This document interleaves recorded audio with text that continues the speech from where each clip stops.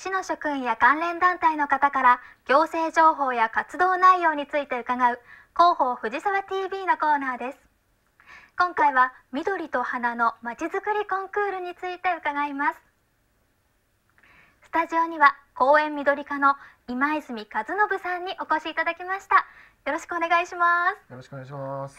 早速なんですが緑と花のまちづくりコンクールってどういったものなんですか？はい、えー、緑化意識の普及啓発を目的としたコンクールで建物緑化賞と緑と花のまちづくり賞そして兵庫コンクールの3部門があります。3つの部門があるんですね。ではそれぞれについてまずは建物緑化賞から教えていただけますか？はい。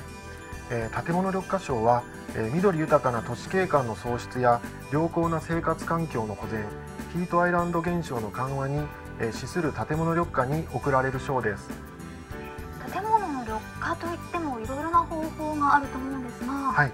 あの募集できますのはあの屋上緑化の部門と壁面緑化の部門、えー、緑のカーテンの3部門になります。緑のカーテンは手軽にできますしマンションにお住まいの方もできるので皆さん参加できますよね。そうですね。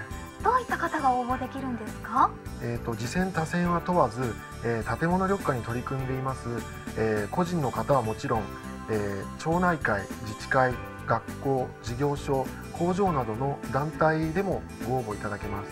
多選もいいということはよそのお家や団体を推薦することもできるんですね。はい、えー、ただし、えー、多選の場合は本人の方の承諾が必要です。そうですよね。勝手に応募してはいけませんからね。はい、はい、続いて緑と花のまちづくり賞を教えてください。はいえー、こちらは、えー、市内で美観上特に優れています、えー、樹木樹林生垣花壇などに対する賞です。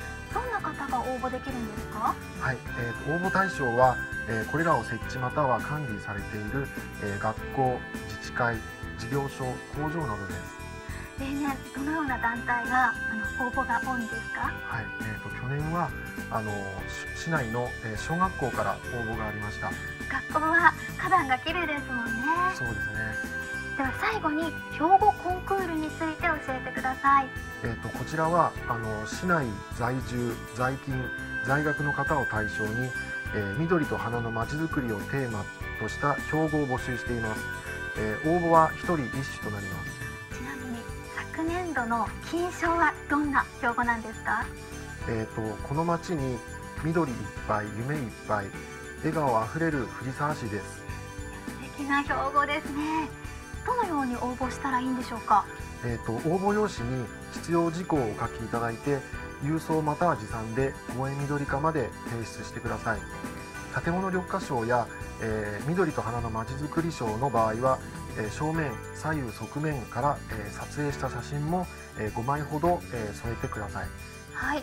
応募用紙はどこに行けばもらえるんですか？えっ、ー、と公園緑課や、えー、石川文館を除く各市民センター、公民館、長久保公園管理事務所で応募要領と用紙を配布しています応募の締め切りはいつなんですか？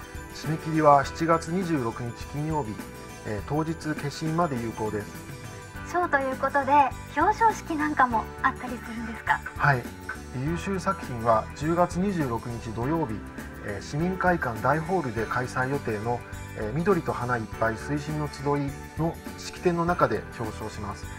また優秀作品展示会で展示も行います、はい、たくさんの応募があるといいですね。そうですね。本日はありがとうございました。ありがとうございました皆さんもぜひ応募してみてくださいね。